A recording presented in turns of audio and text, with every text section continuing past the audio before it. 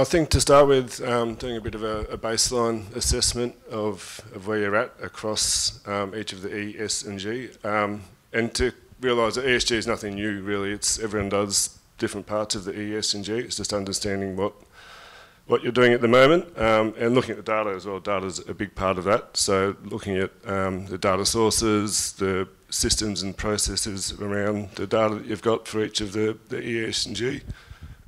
and understanding what the, the key risks are and expectations of stakeholders, as I mentioned before, what stakeholders are looking to have reported on and disclosed.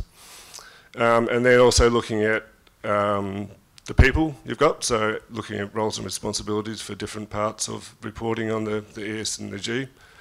And then coming up with a strategy or a roadmap to work out, uh, to bring all that together really, to work out how to pull the data together, get the people involved, the right people involved, um, and move towards developing a, an ESG or sustainability type report. Um, and then implementing that strategy and uh, getting to the re report that the stakeholders uh, meet stakeholder expectations. Um, and probably final step is just looking at um, assurance possibly as well as can be an important part of that to really get the, the confidence in the, re the reporting, um, the stakeholder confidence in what is being reported is complete and accurate and, and really meets their expectations.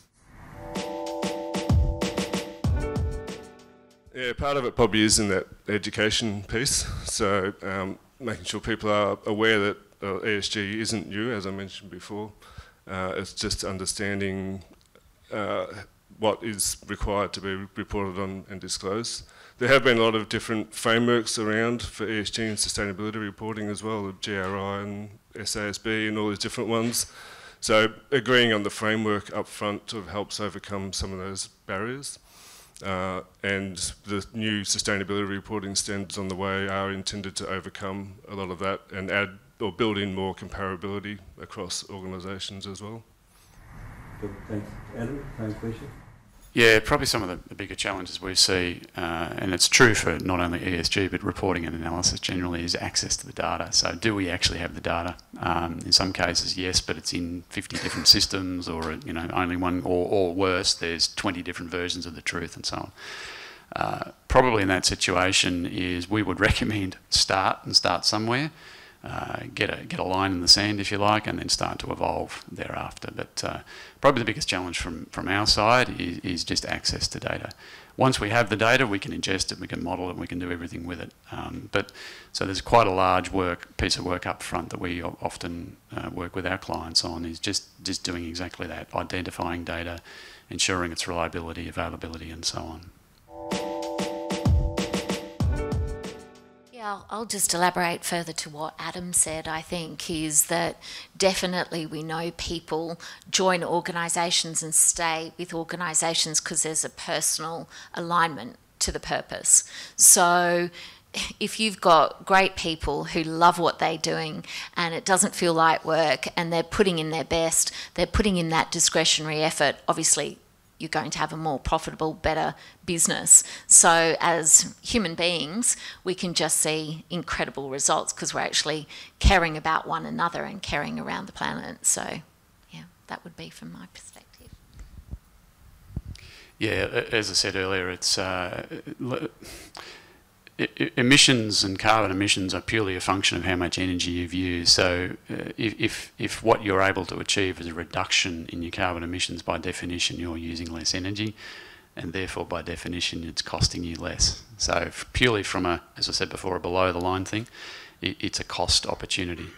Also, um, maybe not an ESG thing necessarily, but through the use of analytics, well done analytics, and so on, if you can start to identify uh, sales and marketing opportunities, for example, you have a direct influence on your top line. So, compliance aside, and I think actually often these things rarely stick well if it's purely a compliance motivation. If there is a business compelling a business motivation, it will drive itself. Yeah.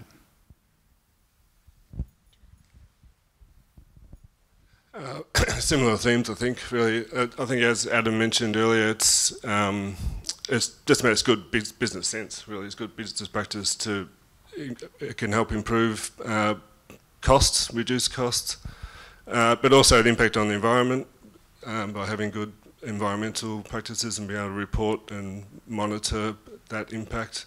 Impact on the community for the, the S side of things. Um, yeah, I think it all overall just really makes good business sense to, to be able to measure the impact, um, the financial impact and the, the social and governance impact.